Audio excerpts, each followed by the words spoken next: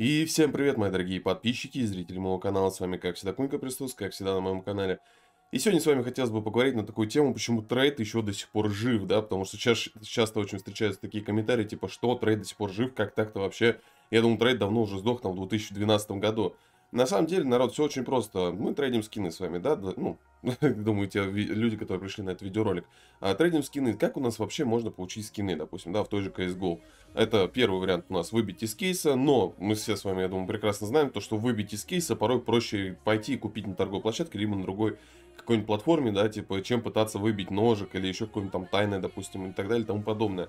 А второй вариант это у нас как раз продать, допустим, свои предметы и купить их на торговой площадке, но при этом мы будем платить хороший процент за продажу, хороший процент за покупку, короче, мы будем платить хреновую тучу всего, процентов и так далее и тому подобное, да. Тоже вариант, ну, не особо такой хороший. А потом нам приходит на помощь, допустим, всякие сторонние площадки, ну, как я уже говорил, да, купить где тоже можно, но там тоже есть процент. Плюс на некоторых площадках есть процент за пополнение, да, процент, допустим, если мы там продаем, что процент на вывод, процент на то, процент на все.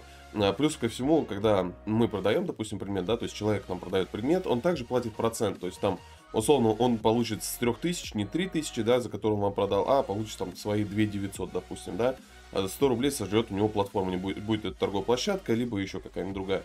Соответственно, что? Это тоже не особо хороший вариант. И потом нам на помощь приходят сайты различные лутфармы, CS Money, TradeGG и так далее и тому подобное.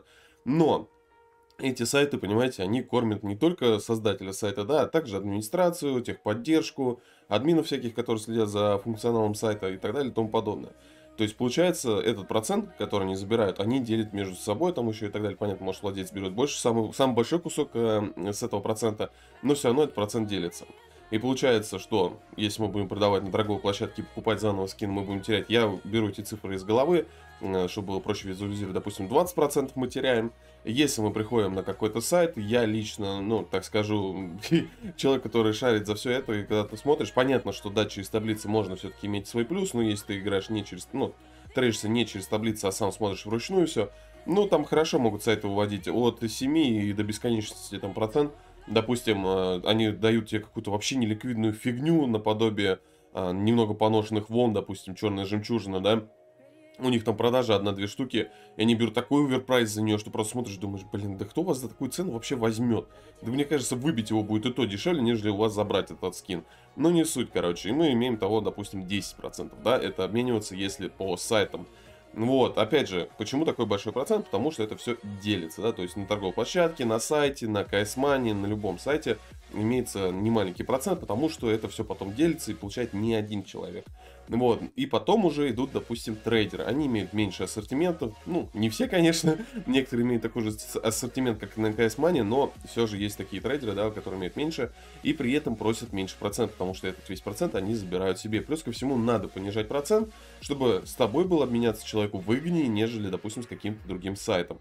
Вот мы и имеем то, что трейдеры, да, которые трейдят скины и так далее, да, они зарабатывают на этом, но они зарабатывают и при этом вы меньше теряете. То есть, если пойти там на кайсмане, вы потеряете 10%. Если будете сами продавать, покупать на такой площадке, вы потеряете пускай 15, не 20, 15%.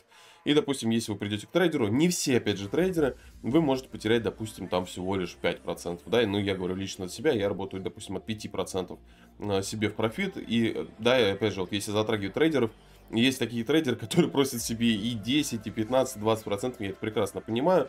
Есть такие клоуны, опять же, есть такие клоуны-трейдеры, конченые трейдеры, которые пытаются обмануть э, неопытных трейдеров, да, как э, был пост в моей группе «Я худею с ваших трейдов», выкладывал пост подписчик, где он говорил, что, точнее, ну, скидывал все пруфы, что трейдер с довольно-таки крупным инвентарем пытался его поиметь и дать ему за котовиз 2014 на скопе, не тертую, 200 рублей.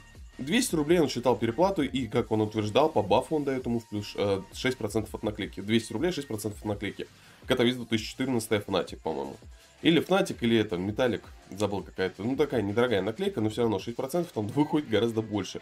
200 юаней, как минимум, а не, ну, ладно, не как минимум, но 200 юаней и 200 рублей это разные все-таки циферки. Да, различие у них в 10, почти в 11 раз. Вот, так что вот так это все работает, народ. То есть человек имеет инвентарь, и за счет того, что он работает на себя, у него меньше процент. Ну, так и везде, мне кажется, э, работает, да, типа, когда человек работает на себя, он берет меньше, потому что он не должен платить еще зарплату сотрудникам и так далее и тому подобное.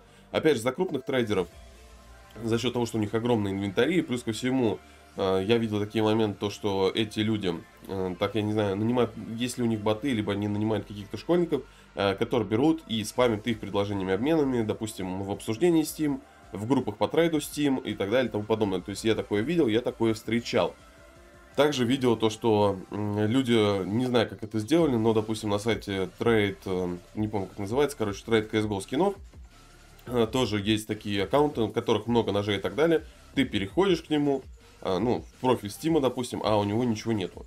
А на объявлении у него там куча ножей и так далее, а в профиле указана трейд-ссылка как раз на другого человека, чьи эти скины. Не знаю, как это люди делали, либо перегоняли на время, делали объявление, угоняли обратно, потому что когда вас пропадает предмет, у вас не попадает там объявление. Честно, не знаю, как это работает, э, не буду утверждать. Вот, э, суть была вообще в чем видоса, да, в том, что почему трейдинг жив. Потому что есть плееры, которые нужны эти скины. Если спроса будет все меньше и меньше, поверьте, народ, э, закроется и Money, и Farm и так далее и тому подобное.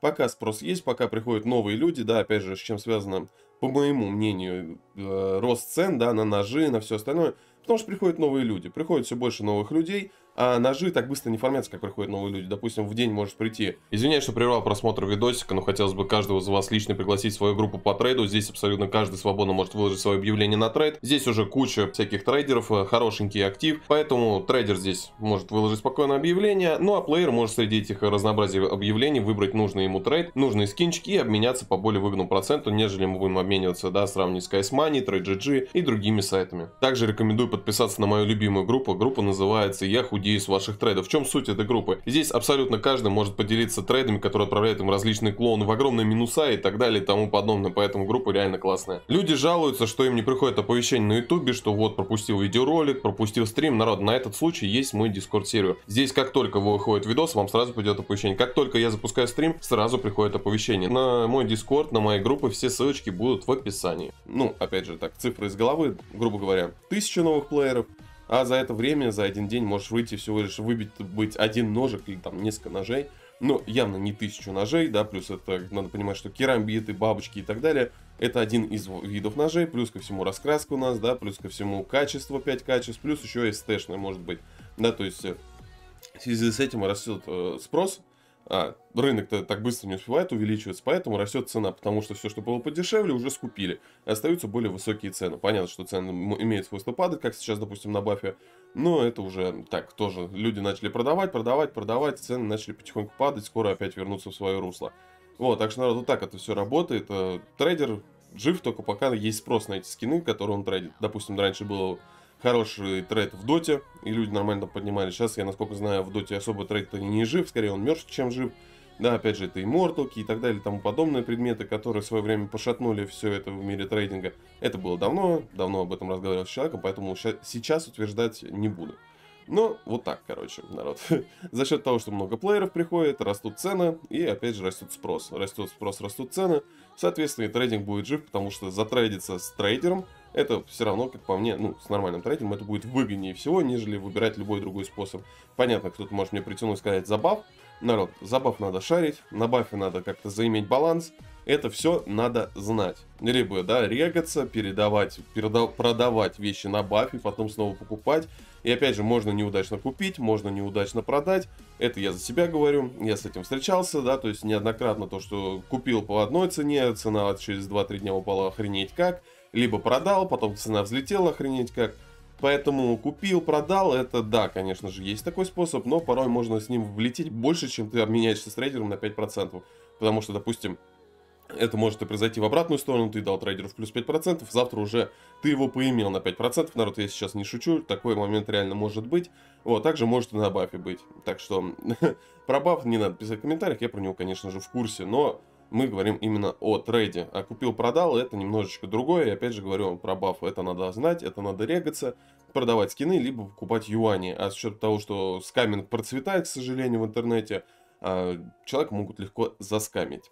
Вот, вот такой вот видеоролик. Э, я надеюсь, наконец-таки ответил на ваш вопрос главный, почему же трейдинг жив, почему Кунька по-прежнему может трейдиться, да, то есть я показываю хороший результат своего инвентаря, который растет, почему это все происходит, я надеюсь ответил уже на этот вопрос, и больше он вас мучить не будет, почему же все-таки все это растет, потому что есть плееры, которые готовы за это заплатить. Ну а на этом у меня сегодня все, спасибо большое за ваши просмотры, лайки, комментарии, народ, они очень сильно мотивируют меня делать дальше видосы, за это вам огромное спасибо, все ссылочки, которые вас заинтересуют, будут в описании, ну а с вами был, как всегда, Кунька, желаю всем хороших подружек, адекватных тиммейтов и дорогого шмота, всем удачи, народ.